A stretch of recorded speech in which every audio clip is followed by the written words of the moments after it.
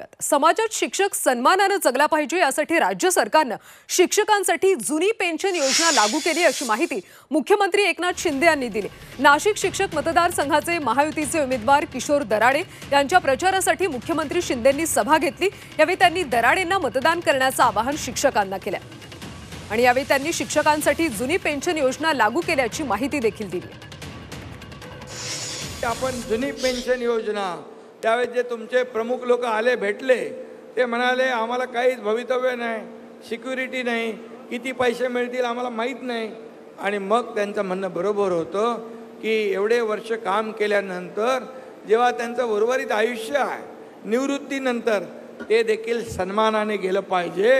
सन्मानाने तो शिक्षक समाजामध्ये जगला पाहिजे हे लक्षात घेऊनच या एकनाथ शिंदेने आणि आमच्या सरकारने तो निर्णय जुन्या पेन्शन योजनेचा लागू केला.